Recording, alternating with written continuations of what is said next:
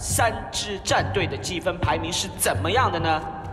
这个排名将决定三支战队可以额外获得多次 one more try。不会有垫底吧？放出来。哇！哦，第一啊，我们。哇！又垫底啊！当时觉得不会垫底了，这次没想到还是第三。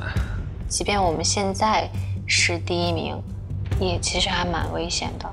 真正的较量才刚刚开始，较量结束将再有两位滑手遗憾出局。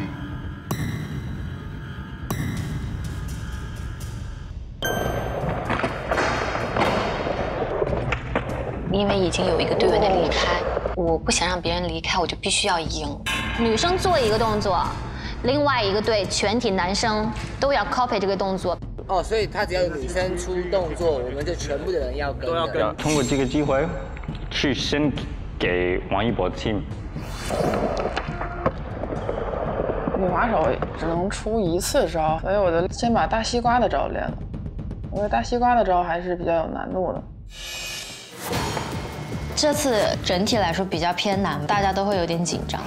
如果我们有人接不上，就派出女生出去；没有女生就得全员接。我觉得有大西瓜在练习的时候，这个动作是非常的稳，所以我们像说踩一样的战略模式，会挑一些呃有的队的队员不擅长的动作，尽可能拿的分就多去拿。我们，这次肯定得拼一点。哦！你居然练习的时候把脚扭伤了，那还肿了。毕竟要比赛，我觉得豁出去了。如果不去拼的话，就会有人离开。不希望有这种事情发生在我们队身上。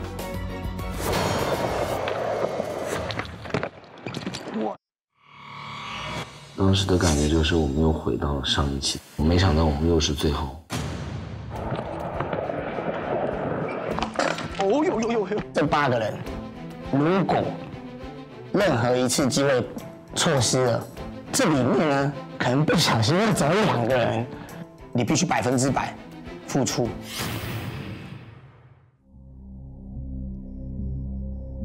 我觉得这一期可能大家都会很拼。自己练的时候，我觉得没有人在盯我的情况下，总是没有办法感受到这个重心。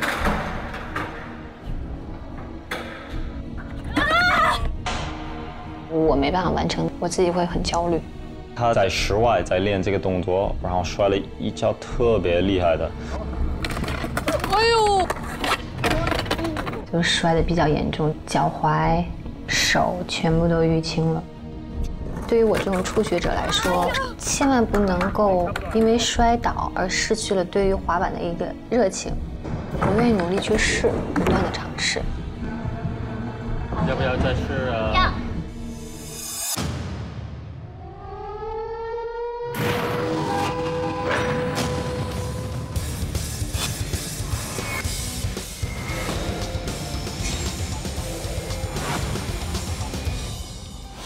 赛道挑战马上就要开始，只有争得第一，你们的战队才不会有人离开。三位领队，你们准备好率先出战，争取更多的 One More Try 机会了吗？耶！那么下面我们就要有请陈潇领队。程潇领队任务：三次机会从斜坡滑下，板尾刹停在棒棒糖黄色区域内，静止后双脚停留在板上至少三秒。第一次成功，五次 one more try；第二次成功，四次 one more try；第三次成功，三次 one more try。是等于说你在滑行的时候，重心马上变到这边这条线上面。就所以那时候在教他的时候，也是跟他说，你的后脚跟你的肩膀还有头是维持一条一条线，所以你的重心就会在这边，就会很稳的就会翘起来。别紧张，对，别紧张，放轻松，放轻松。斜坡他可能踩下去就紧张了。这个挺难的。对我都不会。其实有一点慌，真的是强装镇定。所以就在做刹车的时候，一开始其实没有到非常稳，蛮担心今天会不会影响比赛。Let's go！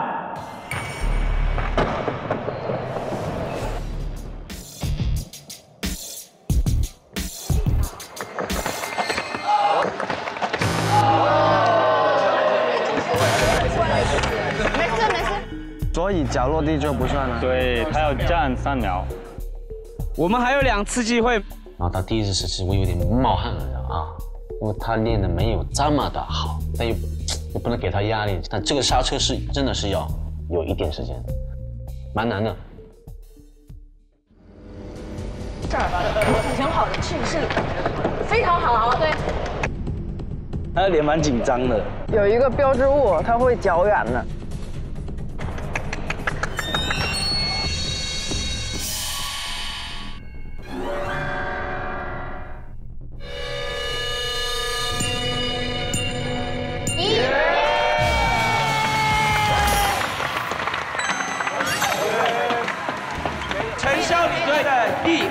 次完成了挑战，总共有六次 One More Try 的机会。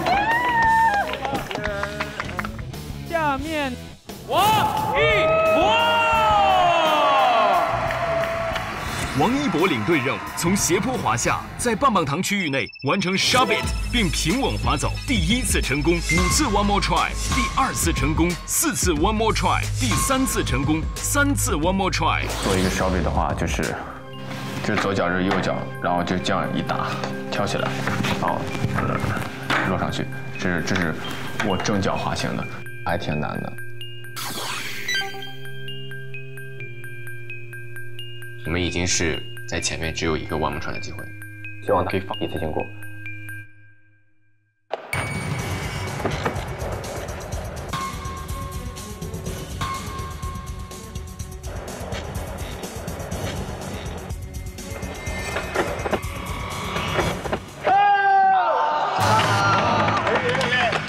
紧张了，急了。没事，可以的，下一个，下一个，下一个，下一个，下一个。上场的时候确实真的感受到了滑手的紧张，我脚会有点抖，没有办法感受到这个重心。让我轻松，放轻松就好了，放轻松就好。放轻松，放轻松。